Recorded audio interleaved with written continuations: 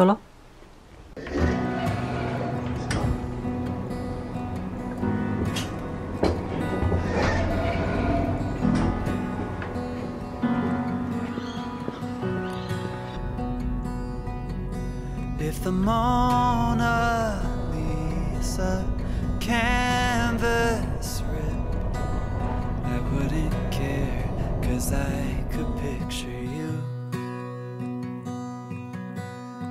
Tower of Pisa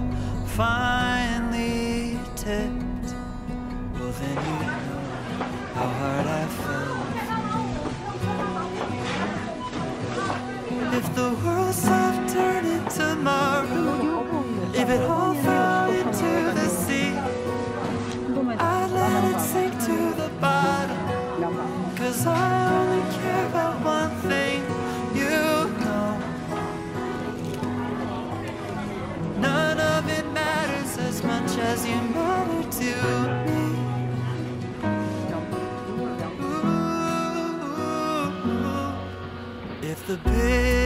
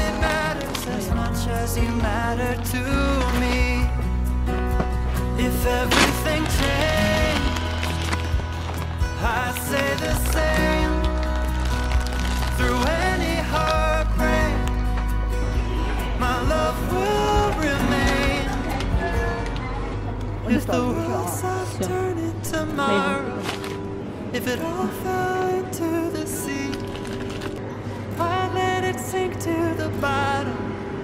Cause I only care about one thing, you know. No, none of it matters as much as you matter to me. No, none of it matters as much as you matter to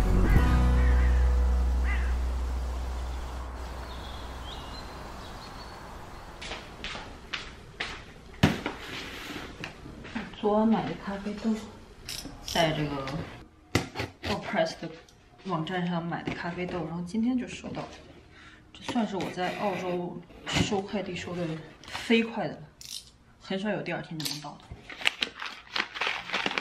我买了这个蛋糕的滴滤杯，就是这种蛋糕滤纸的滴滤杯，它刚好有那种 combo，就是这个组合吧，是一袋儿他们的那个自己用的那种咖啡豆。这个是 Calita 的蛋糕杯。一般我喝咖啡量比较大，所以很少会买那种一人份的量杯。这个是两到四杯的量，这个就是它的滤纸。嗯，就这些。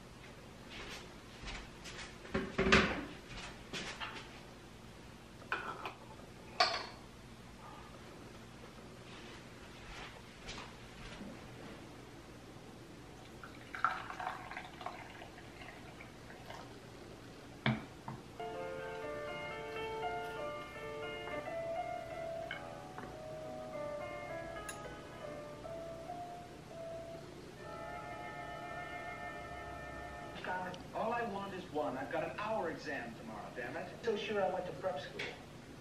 You look stupid and rich. Actually, I'm smart and poor. Uh-uh. I'm smart and cool. Put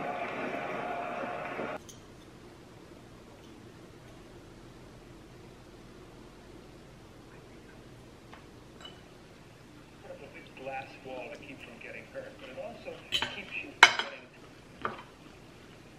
risk, isn't it, Jenny?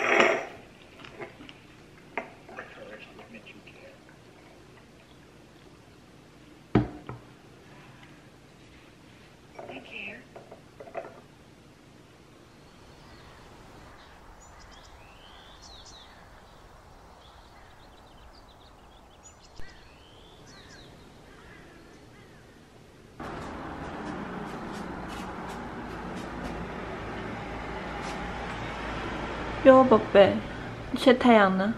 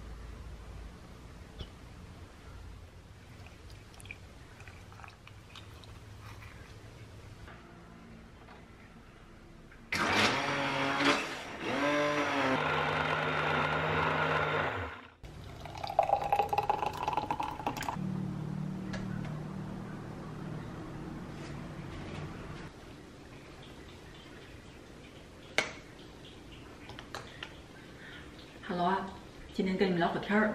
我前阵子不是带花卷去看病了吗，因为他那个猫疱疹又复发了。你妹妹的眼睛肿了，不知道为什么。昨天都还好，就是有点眼泪特别多，然后今天整个这边就肿起来了，所以我约了医生，一会儿带她去看医生。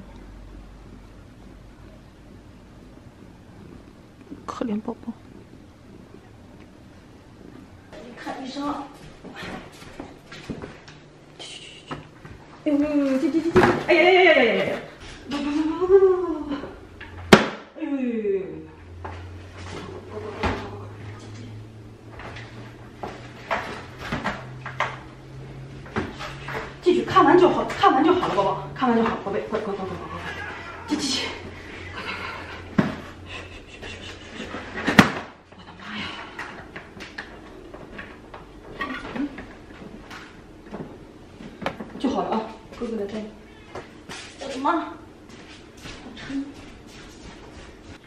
次是大概一年半之前，就这次为啥复发，其实我也不太清楚，因为我也没有觉得家里有什么特别的诱因导致他这个毛病又复发了，或者是有什么因素让他感觉到紧张啊、压力的。花卷每次比较明显的都是眼部症状，它是会一侧的那个眼睛结膜红肿，然后有大量的分泌物，上眼皮儿会比较肿。然后甚至会有那个结痂呀、脱毛这样的状况。然后我带他去看医生，给开了药，一个是一天两顿，一个是一天三顿，连续吃了十天，到今天是刚刚好喂完。他眼睛现在也好的差不多了，就还是有一点点的疤，再观察一下会不会反复。给花蕊喂药真的是个特别困难的事情，把药碾碎了和在饭里头，他绝对是不吃的，而且就尤其他俩都不是很爱吃湿粮的那种。所以就只能硬喂。方法的话，就是医生教给我的，就是像花卷的话，是把它箍在怀里，就一定要把它包裹住，让它没有办法动，没有办法跑，然后再把嘴巴张开，塞到那个基本上是到喉咙口的地方。不然的话，如果只是放进嘴里，它就会很快吐出来。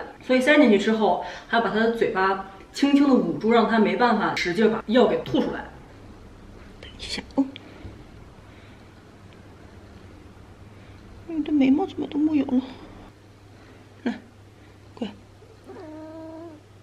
哎呦，来来来，就吃了吃了就好了啊！还剩两，还剩一天，一天，一天一天一天一天一天一天一天一天一天，乖乖乖乖乖。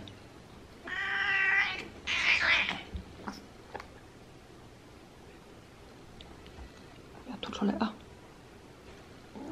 嗯，擦擦眼睛，擦擦眼睛就好了。你看，基本上已经好了。嗯，姐爱你，乖乖。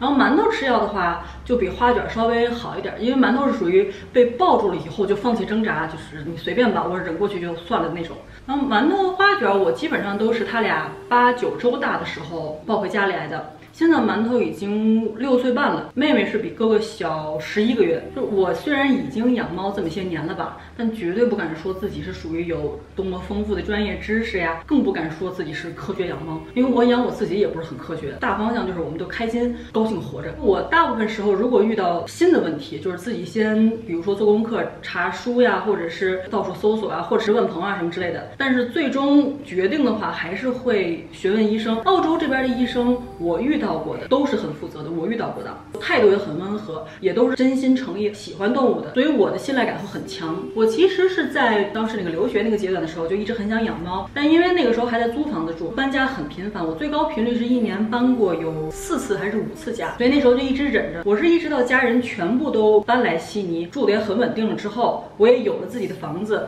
不再担心生活环境不稳定之类的问题的时候，才开始认真考虑这个事儿。而且我也是跟父母很认真的的讨论过、商量了。征求了他们的同意，就即便我们并不是住同一屋檐下，不是住在一套房子里的，就可能很多人会觉得说啊，我已经是成年人了，可以为自己的决定负责，也不需要跟父母或者伴侣，甚至是孩子商量。就尤其独居的人可能会有这样的想法，但在我看来的话，这是一定要的。你且不说如果有家人不同意，日后是会不断的有问题和矛盾产生的。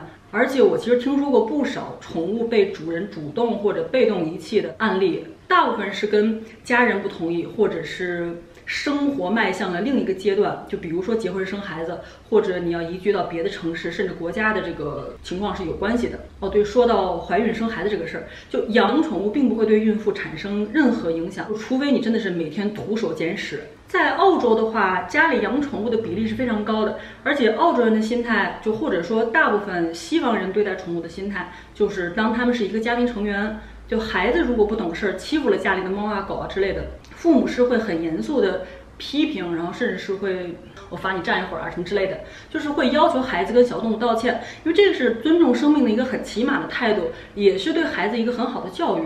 尊重生命和尊重他人，这个都是很基本、很必要的嘛，而不是说你就把动物当成是玩意儿，对生命没有起码的敬畏。就虽然澳洲也会有流浪动物，但确实不太多。就像我家这附近，除了原先就是你们也在视频里面见过的那只蓝猫，就那个还不确定它到底是流浪猫还是说是一个散养的小猫咪。其他任何时候我都没有见过流浪的猫或狗，因为这边绝大部分养宠物的人都会有一个很基本的概念，就是动物要绝育，就除非你自己能够负担，不然不会就是任由你的猫狗一窝一窝生小的。我说的这个能够负担，不是说你金钱上能够负担，而是说你能够同时照顾，比如说你的小猫。又生了一窝，然后一一起养着，其实这个很困难。当然，你有些人是打着生了小的去拿去卖这种主意，他其实根本也不爱自己的动物、自己的宠物，所以就不在今天的讨论范围里面。我当初养宠物并没有领养的意识，这个是我自己一直在反省的。所以馒头和花卷都是我在宠物店里边买的。我这些年其实也都很后悔这一个部分。就当然我很爱它俩，就拿啥也都不换。但我现在还是会去宠物店里逛逛，就是因为这边的宠物店里大部分都是会有可供领养的，不管是被原主人送到这个宠物店里面的，或者是被路人发现救出来的流浪动物，就营救的流浪动物，就反正都特别可爱，都特别乖。但我现在因为养了馒头和花卷，没有办法再养多一只任何动物，不管是猫啊狗啊，甚至可能是仓鼠，什么都什么都养不了。首先就是因为我的这个身心还有精力体力，就是能够负担的，差不多就到这个线上了。再一个就是我之前无数次起心动念，也都问过好多个医生，就其实医生给我的建议就是不要在同一个空间里边养过多的宠物，就尤其是猫，呃，因为猫是非常需要自己有独立空间的。就最好是按房间分配，比如说你是两间房，那就最多养两只猫；你要是有三层大别墅，你就可能可以多养一点，就也有人伺候它们。你不然你就像我这么大房子，就是一百来平米，然后两间房，然后养了一屋子四五六七只，这个就非常不负责任。而且我说的这个就是复述医生给我的话，并不是我自己的一个毫无根据的结论，并且你像馒头其实是对新鲜的任何人事物都是会有一些抗拒态度的。所以，如果我要再养另外一只小动物，尤其可能是已经比较大的成年的猫咪的话，可能会非常抗拒，然后会生病。所以这个也是很大的一个因素吧。就我感觉说到这儿，其实养宠物就一定要在最开始先做一下自我评估，就是是不是真的有能力、有条件养。你像第一就很基本的，你经济条件能不能够负担？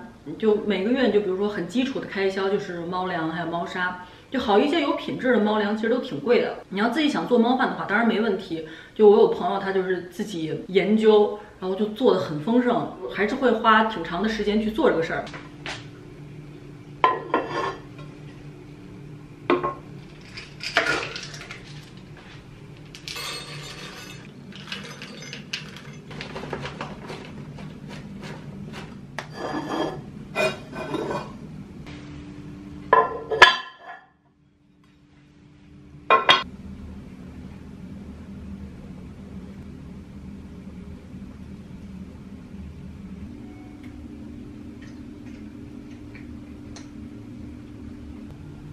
都吃了几口就走了，过一会儿又要来吃，怎么都搬不过来。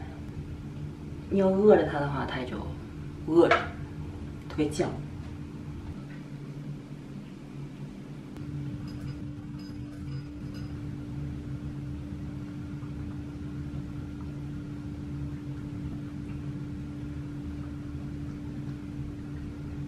嗯，吃完还剩这么多，这碗压根儿没动。不知道我准备两个碗干啥。然后再一个就是说，像猫抓板呀、猫爬架玩具一类的，反正是有条件的主人肯定是尽可能的想要提供最好的宠物用品、玩具，任何东西都不便宜。而而且就是说，还有每年你要定期打疫苗，小病你还要带它去看诊。反正就是澳币的话，看一次医生就比如说感冒吧，你可能随便看一下，然后开个药，就是两百上下吧，就是一千多。国内可能也差不多价格，甚至更贵。如果是需要动手术的病，那就是几万几万往里扔。就其实很多遗弃宠物的人，也都是因为不想花钱治病，所以就干脆扔掉。然后第二就是看你有没有时间，就是小动物其实是很需要陪伴和照顾的。你狗就不说了，网上不是有好多人放那个监控视频，就主人不在家的时候，狗狗那一整天就是很孤单，然后甚至很焦虑。猫咪也不是真的就是很独立的那种生物。还是看性格，你像馒头花卷就特别粘人，每天就是基本上我在哪儿，它俩就在周围。睡觉的话，花卷就反正一直是睡在旁边。馒头每天我进门还没换完鞋呢，就已经躺倒在地上等我摸它了。所以就是你看猫咪的性格是怎么样的，而且长时间缺乏陪伴的话，就是家养的小动物是很容易生病的。再一个就是每一天你一定要花时间给它们放饭、换水、铲屎、梳毛、马杀鸡。还有就是收拾打扫。现在因为澳洲是冬天嘛，还都不算是换毛季。我要是一天不吸地，就满屋都是那种毛絮絮，你就不可能营造一个没有猫毛的环境。就这个都是要考虑到的。然后第三就是生活环境，你现在是不是处在一个很稳定的生活状态和居住条件？这个是一定要考虑的。你就如果现在还在租房，尽可能还是慎之又慎，就想过再想。就先不说很多房东并不允许租客养宠物，你就光是你需要频繁搬家这个事儿来说，你就哪怕一年一搬、两年一搬，你对宠物来说都是很大的心理和生理负担，就是很容易生病。换环境对他们来说就是很困难。你就最好等到你稳定了，可能有自己的房，再来考虑这个事儿。你个人规划其实也是要考虑在内的。你之后会不会有要移居，甚至是移民的计划？或者是你可能要出国工作、念书，这个应该是要提前考虑进去的。你可能养了四五六七年之后有一些变化，这个是没有办法。但是如果你现在已经有打算了，就干脆延后再考虑。你像国内的宠物带出国，别的国家我不是很确定。如果你要带到澳洲，可能性是非常低的。即便可以带，也是要经历一个非常困难又漫长又复杂的一个过程。我听说好像是要经过半年的那个隔离。而且你就在这个期间，你没办法照顾它，你甚至就是没办法看见它，它肯定是会受很多罪的。在这中间要出什么问题的话，其实你可能心里也不能承受。不管是那个氧气舱啊什么各种各样出了问题，甚至还有就是说可能工作人员不负责任，会有个别动粗的这个状况，这个你都没办法预计。再一个就是说很多品种的猫狗是干脆没有办法托运的，像馒头这种，还有像法斗啊这种。短鼻子的猫狗，人航空公司干脆就是不承运。之前还查过花卷，虽然不算是短鼻子的猫，但是英短好像也是不可以的。所以这个都是要考虑在内的。第四就是要看你心里够不够强大。就小动物跟人一样，就是跟小孩一样，你生病在所难免，而且它也不会表达，它就只会难受，你就只能干着急。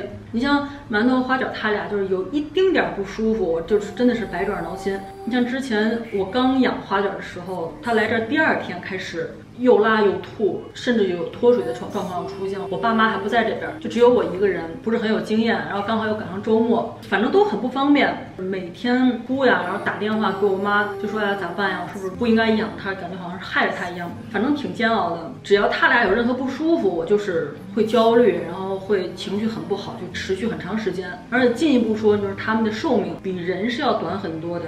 就你肯定会有一天要面对他们离开，就比你早离开，你的心里能不能够承受这个事儿，也是要考虑进去。我其实每次很认真想这个事儿的时候，就还是会有那种后悔的情绪，就觉得我其实不应该走养宠物这一步，因为我不是一个内心很强大的人吧。就现在想就会很害怕。像我弟就是很清醒那种人，就是他很确信自己不能承受这个，所以他就完全拒绝就是自己养宠物。你养宠物还会有很多问题吧？就比如说猫狗。会拆家什么的，像猫就很喜欢挠家具，这个就是很基本的，并且登高爬低、到处跳、到处动的，把那东西扒拉到地上啊，这都是很普遍的。你像我之前住的那个房子里面全新的沙发，大概用了两年多，不到三年就完全跑烂了，所以我搬家的时候就直接扔掉了，根本就没法留。这些都是你需要承受一下吧。如果他们要就是生病了要吃药，像花卷最近这个一天三顿的，对于上班族来说就很困难，就是很难实现。还有比如说那个抓伤你呀，或者是玩的时候不小心咬到你啊，这都是很基本会经历的。我是觉得很正常。经常有人会发私信给我说，被小猫咪挠了，被猫咬到了，要不要去打狂犬疫苗？如果他正常打了疫苗的话，也不需要那么频繁的打狂犬疫苗。当然，这个一切就是以医生说的为准。就最后就是刚刚提过的那个，就是家人。就如果你的家人或者伴侣，就有可能会因为任何原因反对你养宠物，不管是他不喜欢，或者他可能会过敏，或者是你的父母可能觉得你因为养宠物玩物丧志，然后不想结婚，然后可能因为养宠物你不想生孩子，等等等等，这些都有可能会成为你日后主动弃养或者被迫弃养。或者被迫把它们送给别人去养的可能性，就如果有这些不确定因素的话，就最好先不要养。就是因为你养了就要负责，这个是养宠物的人应该先有的一个很基本的心理准备吧。本来今天是想跟你们分享一下带花鸟去看病，然后包括后续的一些东西，木有想到一说就说开了，然后说这么多废话，甚至是变成了一篇劝退文。我也不是说劝大家不要养宠物。中心思想总结下来就是一定先考虑好自己各方面的情况，大概都衡量清楚，觉得自己有能力、有条件养再养，就很很简单的。养宠物肯定是能够带给你很多满足感、很多快乐、很多陪伴，然后你也能收获很多的爱。但这个前提都是付出了很多的爱，因为这些都是互相的嘛。如果你们还愿意听我聊这些养猫相关的，可以留言告诉我，或者是。打在弹幕上，之后想听什么样的话题，我可以整理一下跟你们聊一聊。如果不乐意听的话，你已经听到这儿了，就这样了，哔哔。